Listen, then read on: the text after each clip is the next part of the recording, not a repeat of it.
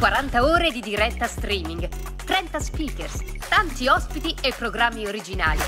Tutto questo è Direttamente Smart Life, il festival della cultura digitale raccontato da Radio FSC Unimore.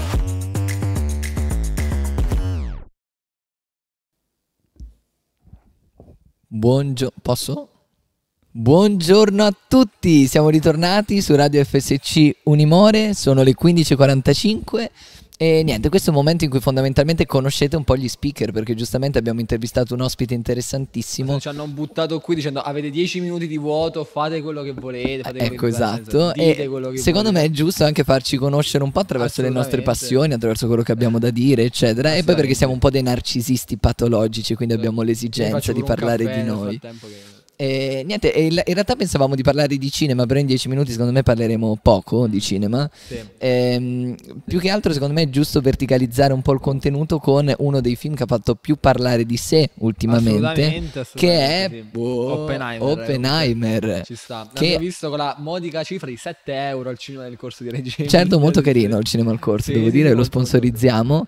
Comunque, e... allora, se non siano ancora andati a vederlo, Vabbè, dai, lo consigliamo a prescindere dal fatto senso... che apprezziate o meno Nolan, perché a me, ad esempio, fa schifo Nolan. E dico no, questa allora, frase fortissima. Allora, io mi permetto di dire che non ho visto nessun film di Nolan. Se non ok, ho ok. Quindi non posso, diciamo, fare una critica oggettiva. È molto sopravvalutato. allora, me. secondo me, comunque ha quella sua caratteristica che mi hanno detto. Poi ho letto anche di utilizzare il tempo, diciamo, e cazzeggiare un po' col tempo, se si può dire no? Lui cazzeggia un po' con tutto, secondo me, okay. cioè non solo con il tempo. Però comunque Oppenheimer si discosta un po' dalla classica narrazione sì. stile Nolan. Cioè, comunque eh. verte sulla vita dello scienziato, eh, cerca un attimo di creare un filo narrativo, bene o male si certo. segue, è pesante, lo è. Andatelo a vedere in un multisala. Ah, ecco, guarda, che sia pesante dipende. Allora, a livello cronologico e temporale, sì, perché sono eh, tre eh sì, ore di mattone. Sì. Questo sicuramente. Anche perché poi sennò poi cioè, ti perdi. Sì, ma tu comunque... non hai visto Interstellar. Cioè, Interstellar è molto peggio e dura molto meno. Interstellar comunque cioè... sembra che tipo va indietro nel tempo. Vede ma cose, sì, perché ci sono i buchi neri, quindi lui ci gioca. Però sai qual è la cosa che mi fa impazzire di Nolan? Se la crede tantissimo. Cioè, lui gira okay. su una pellicola di 70 mm, un po' alla Kubrick,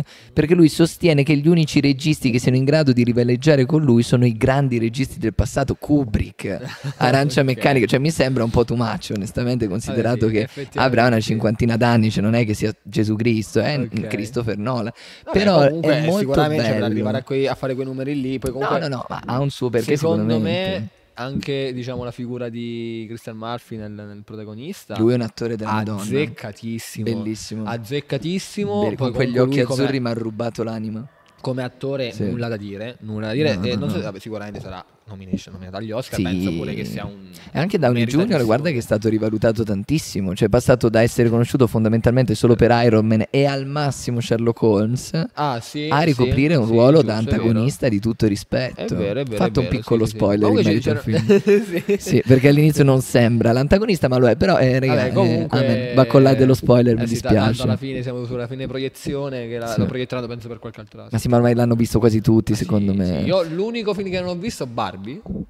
Ma allora, guarda, Barbie ha una sua ragione di esistere, vedere, però... il fenomeno Barbenheimer che è stato un fenomeno che ha vissuto infatti, tutto il mondo meno che l'Italia. Eh, mi è dispiaciuto infatti che sono usciti, per chi non lo sapesse comunque Barbenheimer è un, diciamo, un trend che è uscito su i social ma sì, tempo fa. In America in generale, esatto, ma nel resto del mondo. Oppenheimer e Barbie diciamo nella maggior parte dei certo. paesi del mondo, sono usciti lo stesso giorno. E certo. quindi si è creata questa domanda mistica da parte degli utenti di, sì. dei social network. Si, si è andata a vedere o prima Barbie o prima Oppenheimer. In ordine sì, ve, ve, la romanzo, cioè praticamente Barbie è un film che ha fatto paura a tutti perché si sapeva che sarebbe stato un film che avrebbe incassato l'ira di Dio. Nolan chiaramente nella sua arroganza non ha paura di niente esatto. e quindi ha detto fanculo, io Oppenheimer lo lascio comunque all'interno del frame temporale di Barbie. E esatto. questa è stata una scelta vincente perché ha cavalcato l'onda di Barbie ed è il film di Nolan che ad oggi credo abbia incassato più di tutti. Ma sicuramente penso ehm, perché comunque meritatamente aggiungo. Tant'è che vi faccio è il momento della mia pippa poetica, Ma pronto. la vogliamo fare o voglio continuare ancora a parlare di perché No, io voglio farla. Voglio farla. allora Allora, lasciamo lo spazio di. Quanto dura? Due minuti? Due minuti. Allora, lasciamo eh, due minuti di questo buco che noi dobbiamo colmare a Edoardo Chiarle che ci leggerà diciamo, una, una delle sue poesie. E... Certo. Prego. Vale. Allora, praticamente questa poesia si chiama Prometeo americano perché dall'inizio del film Oppenheimer viene paragonato appunto a Prometeo, nel senso che è il dio che ha dato il fuoco agli uomini, metaforicamente sarebbe la bomba atomica. E quindi io ho fatto questa poesia, ho rivisitato il tutto e ho contestualizzato Oppenheimer all'interno di un uomo primitivo che danza davanti al fuoco e intravede già la bomba atomica, cioè un eh, trip mentale incredibile. Beh, come sta messo sto ragazzo, ragazzi? State sì, attenti sì, sì, oh. per le strade di Modena e dintorni. Certo. Perché... Sei pronto, amico mio? vada, vada, vada. vada. Prometeo americano.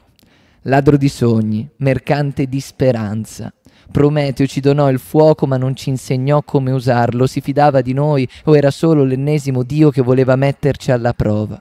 Non ho idee, sono in estasi. Dinanzi a me si trova la fiamma primordiale. Il mio corpo balla, la mia bocca articola versi incomprensibili. Sono una scimmia, forse poco più. Il tempo mi definirà uomo primitivo. Eppure la scintilla di chi sarò già vive dentro il mio patrimonio genetico. L'ombra del peccato che mi macchierà le mani anzitempo oscura al sole del giorno che verrà. Il samsara è privo di occhi, ma racchiude un'ironia beffarda. Il cervello non può sapere, ma l'inconscio, l'anima, già racchiude il seme del peccato originale. Oggi ballo dinanzi a una colonna di fuoco, portatrice di calore e speranza, ma domani, strisciando di vita in vita, diventerò colui che trasformerà l'atomo padre di ogni creatura in portatore di morte, cenere e guerra. Già lo so, Eppure perché fremo, perché non vedo l'ora di vedere le attuali mie membra decomporsi in virtù dell'esistenza che verrà, perché se oggi sono scimmia anelo d'essere scienziato, per quale ragione se adesso non ho nome attendo con ansia che si è inventato l'alfabeto al fine di rubarne undici lettere, oh Penheimer. I miei piedi danzano al ritmo di una musica immaginaria, le note sono figlie di un'epoca che ancora non mi appartiene, i peccati di cui mi macchierò ancora sono progenie di un tempo lontano, eppure già da adesso mi pare di sentirle. Le urla degli adoratori, gli applausi dei vincitori, le unghie dei vinti tritano la carne del cuore, tuttavia il tutto è poca cosa. L'etica, l'odio, il prestigio sono le madri della vita passata, presente e futura solo delle creature mortali. E io, Prometeo di mortale, non ho più nulla. Sono tuo fratello, titano ladro della fiaccola che generò in me il seme di quel desiderio perverso. Uomini, veneratemi, odiatemi, a me non interessa. Gli dei rimarranno sempre dei, lontani, distanti, incomprensibili. Sboh. Allora, questo era il pippone filosofico di Edoardo Chiarle che ovviamente non può rinunciare a fare. Nel, non posso, no, no, Beh, no, Stiamo cavalcando diciamo il tema Oppenheimer, quindi ci certo, sta. Certo. Ma è possibile dalla regia mettere tipo il, i claps, l'applauso in sottofondo? Se, se Veramente? Oh mio Dio!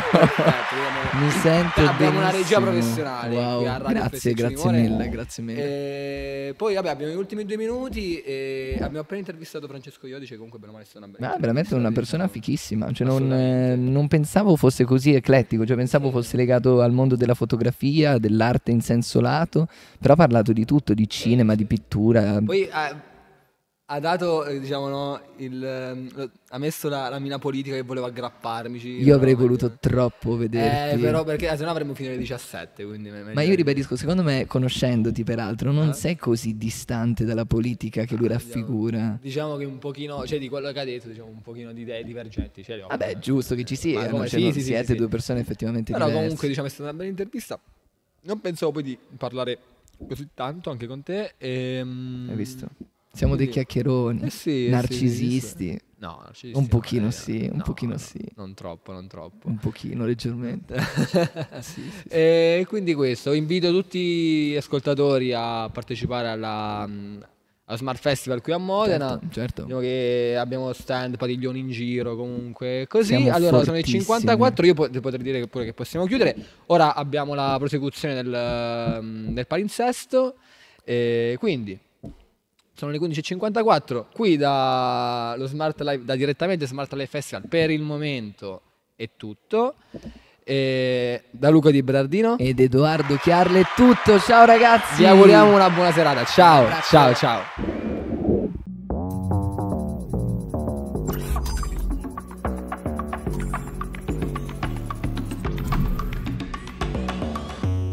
ore di diretta streaming 30 speakers, tanti ospiti e programmi originali. Tutto questo è Direttamente Smart Life, il festival della cultura digitale raccontato da Radio FSC Unimore.